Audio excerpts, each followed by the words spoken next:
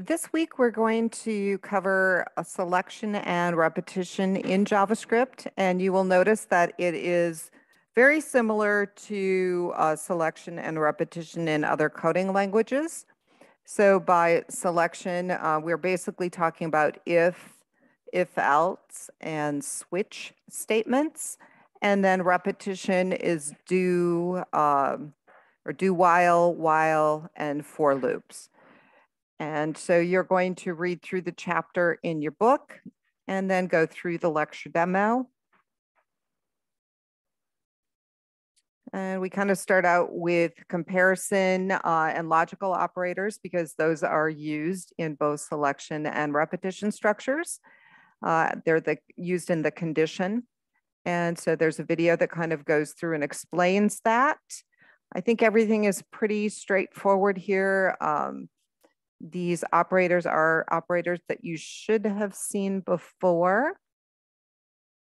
Uh, you'll notice that I did include some try it live here just for fun.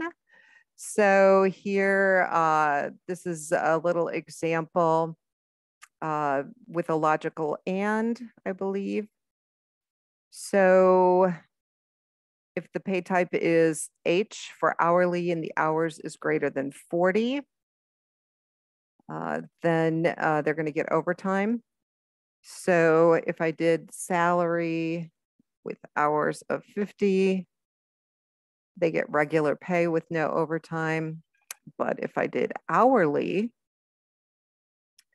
with hours of 50, they do get overtime. Okay, so you can kind of play with these. Uh, they're basically executing the if statements and displaying information back to you. Uh, if you want more information about comparison and logical operators, I do have a link here to W3 schools. Uh, then we get into selection structures. And like I said, uh, the three selection structures that we cover are the same three that are in other programming languages. So I don't think that there's gonna be any real surprises here. Um, if you wanna execute more than one line of code, uh, you do have to put it in curly braces. Okay, and so I do think this is pretty self-explanatory. However, I did include um, a video that you can watch that kind of goes through all of this with you. And then once you get done with the selection structures, if you want to learn more about switch statements and work with some interactive examples, I have a link to that. And then we kind of move on to repetition structures. Uh, and so while, do while, for, and then we have another one called for in. So there's actually four different ones. Uh, and um, there is a link so you can work with some live examples. And then uh, each one of those is explained in a video. And then you'll notice that there's links to different programs that you can take a look at. And so there's a video for the while statement. There's a video for the do while and examples. There's a video for the for.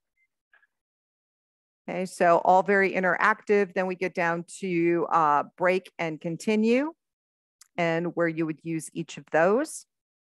And then finally, type conversion. This is kind of interesting because JavaScript is a loosely typed language. Um, then sometimes it's hard to determine if a variable is true or false. And so in JavaScript, they refer to things as being truthy or falsy.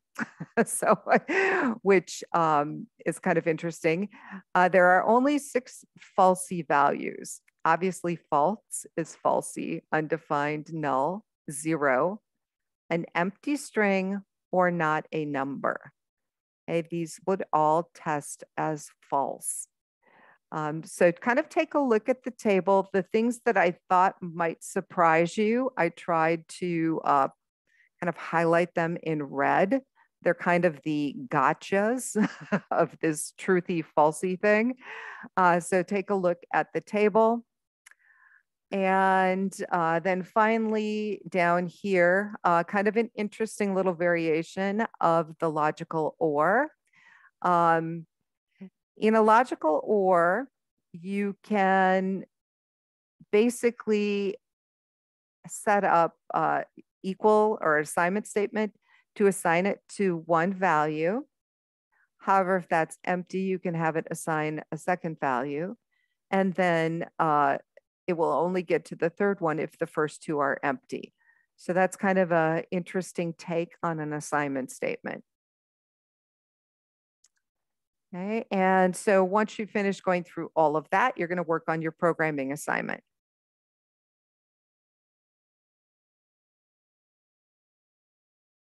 And so uh, first thing you'll do is create those folders uh, for the structure.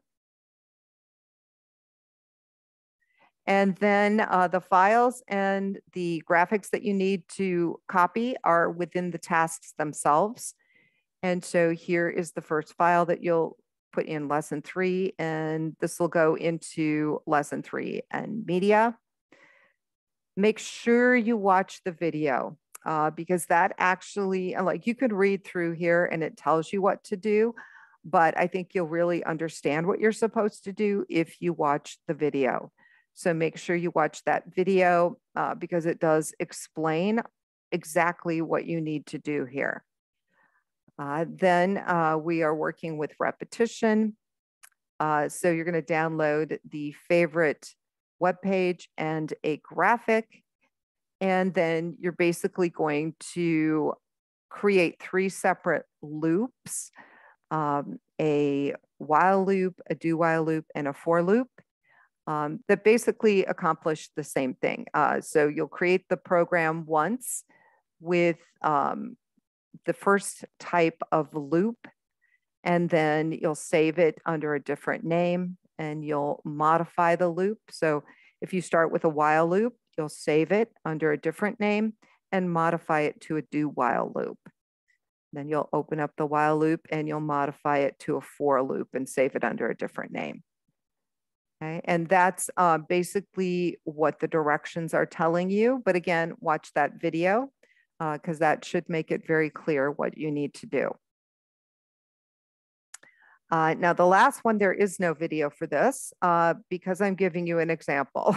So the code uh, that is in here is similar to what you need to do. Uh, so take a look at the example. So how old are you? You're going to plug in your age, uh, months till your birthday, calculate, shows you how old you are. Okay.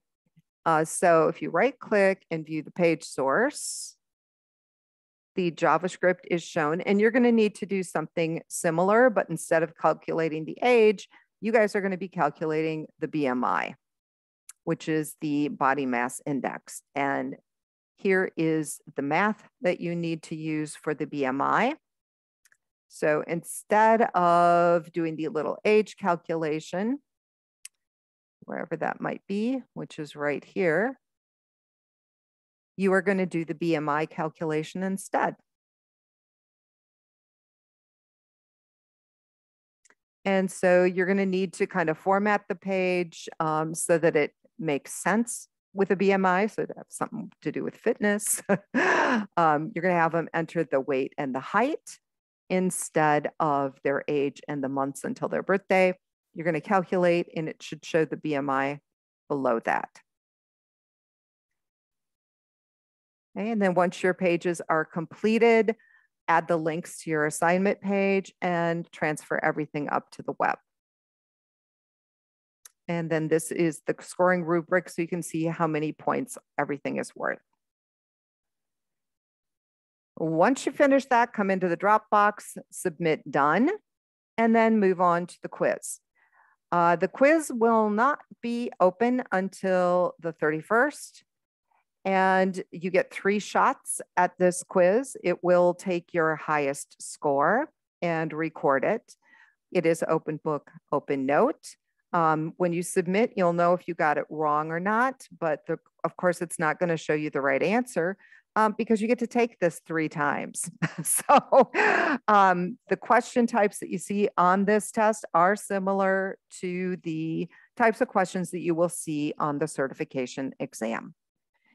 Okay, and so practicing doing those types of questions will only help you do better on the exam itself.